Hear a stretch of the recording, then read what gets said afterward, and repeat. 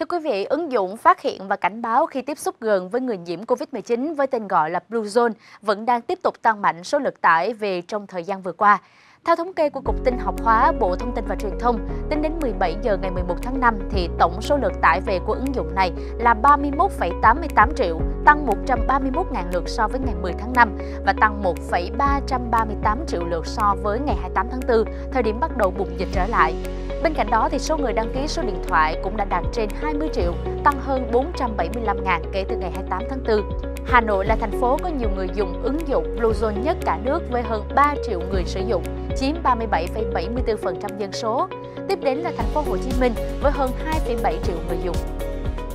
Nhằm chủ động kiểm soát tình hình dịch COVID-19 trên địa bàn, nhiều tỉnh thành như Hải Dương, Hà Nam, Quảng Nam đã triển khai tính năng khai báo y tế ngay trên mạng Zalo chính thức của mình. Cụ thể, trang Zalo Công an tỉnh Quảng Nam đã gửi tin nhắn đến người dân trên địa bàn tỉnh thông báo về việc khai báo y tế trên trang Zalo chính thức và khuyến khích người dân thực hiện. Còn tại tỉnh Hà Nam, trước khi triển khai trên diện rộng, 100% cán bộ, chiến sĩ thuộc lực lượng công an tỉnh đã thực hiện việc khai báo y tế điện tử do công an tỉnh cung cấp thông qua mô hình Zalo Công an tỉnh Hà Nam trong khi đó, tại Hải Dương, ngay từ khi dịch Covid-19 bùng phát đợt 3, tài khoản chính thức Công an tỉnh Hải Dương trên Zalo đã được sử dụng để gửi đi thông báo truy vết, tìm kiếm những người có liên quan đến các ca bệnh Covid-19 trên địa bàn tỉnh và hỗ trợ người dân khai báo y tế trong giai đoạn giãn cách xã hội. Khai báo y tế qua Zalo được xem là phương pháp tiết kiệm thời gian và giảm rủi ro lây nhiễm khi người dân chỉ cần ngồi nhà thực hiện các bước khai báo thay vì xếp hàng tại các trạm y tế, bệnh viện hay điểm công cộng. Bất chấp những lý lẽ vì người dùng của Facebook, Tổng trưởng lý từ 44 bang của Mỹ vẫn cho rằng ý tưởng làm phiên bản ứng dụng mạng xã hội Instagram dành cho trẻ em sẽ là lợi bất cập hại. Trong thư gửi tới giám đốc điều hành Facebook, tỷ phú Mark Zuckerberg ngày 10 tháng 5, những người đứng đầu cơ quan tư pháp tại 44 bang và vùng lãnh thổ nhắc lại kết quả nghiên cứu cho thấy bức tranh u ám về thực trạng sử dụng mạng xã hội của trẻ em. Nghiên cứu cũng nói rõ về mối liên hệ giữa việc dùng mạng xã hội và các vấn đề bệnh lý tâm thần, cũng như nạn bắt nạt trẻ em hiện nay. Tỷ phú Mark Zuckerberg nói về ý tưởng xây dựng một phiên bản ứng dụng Instagram có tên là Instagram for Kids dành cho trẻ em lần đầu trong một phiên điều trần trước Quốc hội vào tháng 3 năm nay. Ngay từ thời điểm đó, các nhà lập pháp Mỹ thuộc cả hai đảng Dân Chủ và Cộng Hòa đã bày tỏ quan điểm không ủng hộ về kế hoạch này. Hiện tại, trẻ em dưới 13 tuổi không được phép sở hữu tài khoản Instagram, trừ khi phần mô tả của hồ sơ được viết rõ ràng rằng tài khoản đó đang được cha mẹ hoặc người giám hộ quản lý. Ngày 11 tháng 5, hãng công nghệ Apple của Mỹ phải nhận một đơn kiện mới cáo buộc cửa hàng ứng dụng trực tuyến App Store đã tính phí quá cao với nhiều người dùng tại Anh. Đơn kiện do chuyên gia kinh tế kỹ thuật số Rachel Ken đứng tên và đang được Tòa án Phúc thẩm cạnh tranh Anh xem xét. Trong đơn kiện, Rachel Ken yêu cầu Apple trả lại tiền cho khoảng 19,6 triệu người dùng ở Anh, với tổng số tiền 1,5 tỷ bảng Anh, tương đương 2,1 tỷ đô la Mỹ. Về phần mình, Apple gọi đây là một vụ kiện đã được lên kế hoạch và không đáng xảy ra. Hãng công nghệ Mỹ khẳng định luôn đảm bảo cam kết với khách hàng và App Store đã mang lại rất nhiều lợi ích cho nền kinh tế sáng tạo ở Anh. Chính phủ Nhật Bản đã ban hành quy định yêu cầu mỗi học sinh phổ thông phải được trang bị một thiết bị điện tử như máy tính bảng, máy tính sách tay. Quỹ ngân sách quốc gia sẽ tài trợ thiết bị cho học sinh tiểu học, trung học cơ sở. Tuy nhiên, cấp trung học phổ thông không nằm trong chương trình giáo dục bắt buộc tại Nhật Bản, nên học sinh phải tự mua. Theo khảo sát của Bộ Giáo dục Nhật Bản, chỉ 12 quận sẽ tài trợ thiết bị công nghệ cho học sinh và 15 quận yêu cầu gia đình các em tự chi trả nhưng có chính sách khác nhau. Từ năm học 2022, Hội đồng Giáo dục tỉnh Kyoto yêu cầu học sinh các trường trung học phổ thông công lập trên địa bàn phải tự trang bị máy tính bảng. Các em chỉ được mua máy tính bảng nằm trong ngưỡng giá khoảng 60.000 đến 70.000 yên, tương đương 12,6 đến 14,7 triệu đồng. Tuy nhiên, không ít phụ huynh và học sinh đã bày tỏ thất vọng, xen lẫn tức giận trước áp lực mới lên tài chính của gia đình. Covid-19 đã làm đảo lộn mọi mặt của cuộc sống và làm thay đổi cách thức bầu cử của nhiều quốc gia. Dưới yêu cầu về giãn cách xã hội, các chiến dịch vận động không thể được tiến hành như trước đây. Nếu như Singapore, Mông Cổ vận động tổ chức meeting trực tuyến, Hàn Quốc thì thiết lập điểm bỏ phiếu cho người trên 65 tuổi dễ mắc Covid-19, hay Cộng hòa Séc áp dụng hình thức bỏ phiếu không rời khỏi xe ô tô, thùng phiếu di động, thì Việt Nam cũng đang áp dụng nhiều biện pháp chuyển đổi số để đảm bảo bầu cử được diễn ra an toàn. Tuổi cao đã hơn 80, bà Quỳnh vẫn đặc biệt quan tâm đến thông tin bầu cử Quốc hội và Hội đồng Nhân dân các cấp nhiệm kỳ 2021-2026. Đối với bà, cử tri ở độ tuổi nào cũng cần có trách nhiệm với lá phiếu của mình.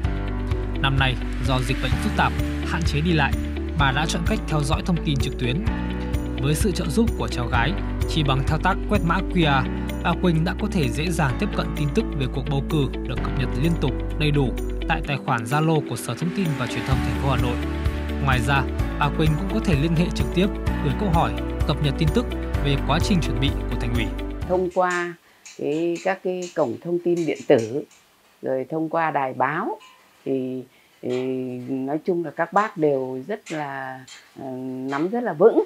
về cái công việc bầu cử cũng như là những cái việc tiến hành chuẩn bị về ý thức tinh thần của mọi người công dân. Mình thấy cách thức này rất là tiện lợi, đặc biệt là đối với người lớn tuổi như bà mình uh, có thể uh, tìm những cái thông tin ở trên điện thoại uh, bằng cách là quét mã QR mà sẽ có tất cả những cái thông tin về ờ, bầu cử mà không phải đến ờ, xã phường như trước kia nữa. Còn với bà Lụa, đang hoạt động tại tổ bầu cử số 2 phường Quan Hoa, quận Cầu Giấy, công nghệ đang giúp bà và nhiều cử tri trong khu vực tiếp nhận và trao đổi thông tin liên tục mà không cần gặp mặt trực tiếp. Kể từ khi danh sách ứng cử được địa phương niêm yết, bà đã ghi lại thông tin của mỗi đại biểu, danh sách cử tri, rồi gửi qua mạng xã hội đến từng cá nhân cử tri hoặc nhóm cử tri do bà lập ra. Qua đó, cử tri tại đây đã có thể dễ dàng kiểm tra thông tin của mình, sửa chữa tên họ, ngày sinh nếu có sai sót trực tiếp qua điện thoại. Bà Lụa cũng gửi mã QR của tài khoản Sở Thông tin và Truyền thông Hà Nội cho người dân xung quanh. Với việc làm này, bà Lụa hy vọng sẽ giải đáp được các thắc mắc về cuộc bầu cử một cách nhanh chóng và an toàn trước những diễn biến phức tạp của dịch bệnh Covid-19. Về à, phòng chống dịch rồi thì à, các cái hoạt động thường ngày đều có trên cái mạng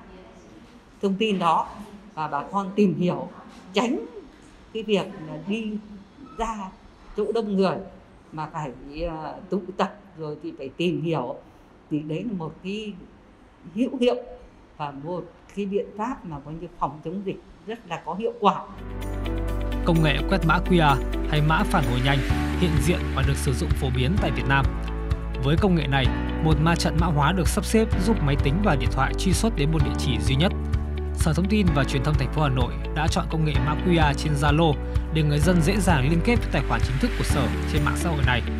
Chỉ cần bấm quan tâm, người dân sẽ được cập nhật đầy đủ thông tin quan trọng về tiến trình bầu cử cũng như các thông tin liên quan về dịch bệnh mỗi ngày, dễ dàng truy cập cổng thông tin giao tiếp điện tử để theo dõi hoạt động của thành phố. Người dân cũng có thể chia sẻ mã QR này cho bạn bè rất dễ dàng, giúp tiếp cận thông tin bầu cử toàn diện và trực tuyến. Thưa quý vị, với sự trợ giúp của công nghệ thì một cử tri trẻ như tôi chỉ mất chưa đến một phút để có thể tiếp cận được cuộc bầu cử đại biểu Quốc hội khóa 15 thông qua mã QR, từ tin tức mới nhất về các hoạt động của thành phố cho đến các văn bản hướng dẫn, hỏi đáp bầu cử và các hình thức liên lạc. Từ ngày 13 tháng 5 đến ngày 23 tháng 5, thì Sở Thông tin và Truyền thông Hà Nội sẽ triển khai gửi tin nhắn các lịch bầu cử trên Zalo để cử tri có thể nắm bắt kịp thời được thời gian tổ chức bầu cử. Từ đó thì có thể tích cực tham gia bầu cử để lựa chọn ra những người xứng đáng nhất. Mã QR không chỉ phát huy hiệu quả trong cập nhật thông tin bầu cử mà còn giúp đánh giá, khai báo, giám sát lịch trình di chuyển của du khách tới các cơ sở lưu trú du lịch. Đây là một trong những tính năng hiện có trên ứng dụng Du lịch Việt Nam an toàn do Tổng cục Du lịch Phát triển đang được Thủ tướng Chính phủ đề nghị đôn đốc thực hiện trên phạm vi tất cả các tỉnh thành phố trong tình trạng dịch bệnh vẫn diễn biến phức tạp như hiện nay. Thưa quý vị, trên tay tôi đây đang là ứng dụng du lịch Việt Nam an toàn, có thể giúp quan khách tự đánh giá và kiểm tra mức độ an toàn khi sử dụng dịch vụ du lịch. Ngoài ra thì cơ quan chức năng và các cơ sở du lịch cũng có thể theo dõi, giám sát công tác phòng chống dịch Covid-19. Ứng dụng này hoạt động như thế nào? Khách du lịch và cơ sở lưu trú sử dụng các tính năng của app ra sao? Hãy cùng sống kết nối tìm hiểu ngay sau đây.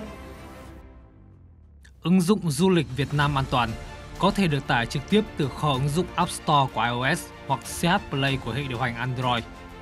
Để cài đặt ứng dụng này, đối với khách du lịch thông thường, chỉ cần nhập số điện thoại và mã PIN code được gửi về. Còn đối với cơ sở lưu trú, sẽ đăng ký và cập nhật thông tin lên hệ thống an toàn COVID-19 quốc gia theo hướng dẫn của Bộ Văn hóa, Thể thao và Du lịch. Cả khách du lịch và khách sạn, nhà nghỉ, resort đều sẽ được cung cấp mã QR riêng biệt. Với mã QR này, cả phía sử dụng dịch vụ và phía cung cấp dịch vụ đều có thể kiểm tra chéo, đánh giá mức độ an toàn trước nguy cơ dịch.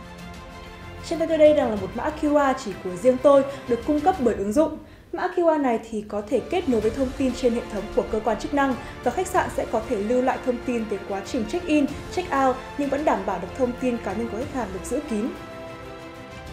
Ngoài các tính năng tương tác với đơn vị cung cấp dịch vụ du lịch như tính năng check-in, đánh giá chỉ số an toàn, phản ánh về dịch vụ du lịch đến cơ quan quản lý, app du lịch Việt Nam an toàn còn có thêm những tiện ích với người dùng như chức năng bản đồ du lịch, khám phá ẩm thực, di sản văn hóa, chức năng theo dõi hành trình tour du lịch, chức năng chữ ký điện tử dành cho cá nhân và doanh nghiệp,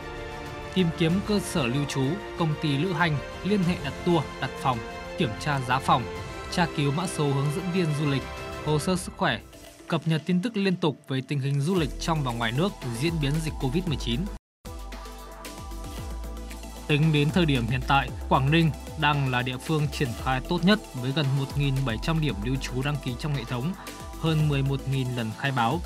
Các địa phương như Khánh Hòa cũng có số lượt khai báo trên 8.000 lượt. Tổng cộng có hơn 9.000 tài khoản đăng ký mới trong thời gian gần đây, với hơn 8.000 cơ sở lưu trú và 646 doanh nghiệp lữ hành đăng ký mới. Bộ Văn hóa, Thể thao và Du lịch đã giao Ủy ban Nhân dân các tỉnh, thành phố phối hợp thực hiện để triển khai cập nhật thông tin hoạt động của các khách sạn lên hệ thống an toàn COVID-19 quốc gia. Cùng với đó, sử dụng ứng dụng du lịch Việt Nam an toàn như một lá chắn ứng phó trước nguy cơ lây lan của dịch bệnh.